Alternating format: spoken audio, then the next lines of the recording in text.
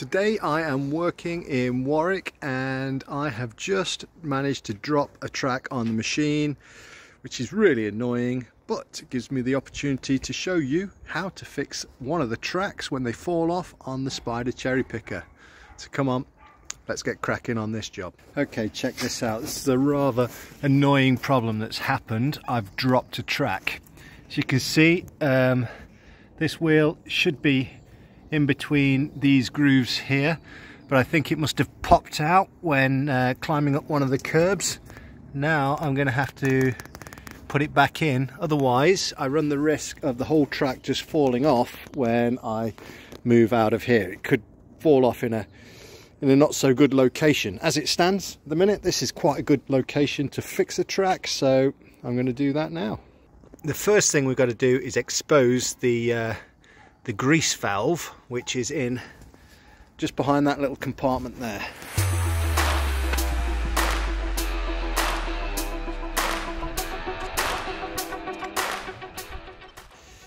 Okay, so we've opened this up and there we can expose this nut here. That's a grease nipple, but by, by loosening this bolt, it releases all the grease that's in the, well, it's in like a piston and the, the piston expands the track. So by releasing all the grease, this wheel here, show you this, this wheel here can slide that way, taking all the slack off the track so we can lift that back onto the wheel and then we can uh, put grease back into that grease nipple after tightening it which will tighten the track again putting it where it's supposed to be so let's do that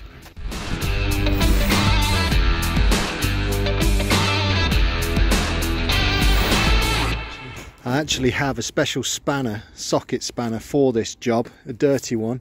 Um, unfortunately this kind of thing does happen mm, often enough to warrant having its own tools to do the job when, when it happens.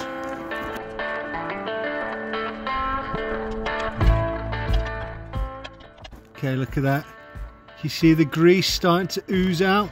That's because it's released the pressure and now this wheel here can slide in that direction.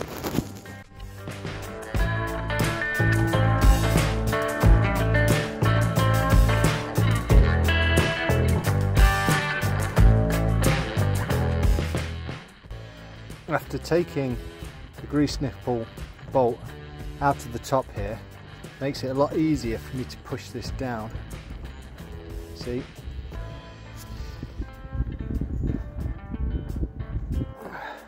Get rid of that. And that's going to give me plenty more space to um, to get the track back back on. We can just put that back on there. Tighten it up. Use some blue roll to uh, clean yourself but I can tighten this all here now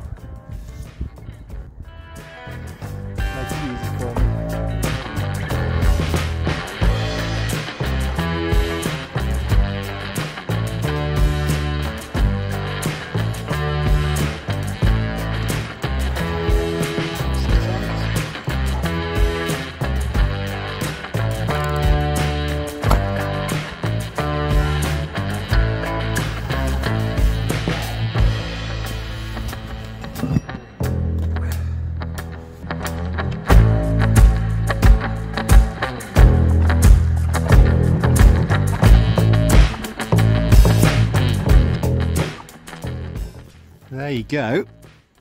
By releasing the pressure on this wheel here, it's meant that I could hook the track back over. And all I've got to do now is squirt grease into that grease nipple, which is going to tighten everything up and uh, put this track back on tighter.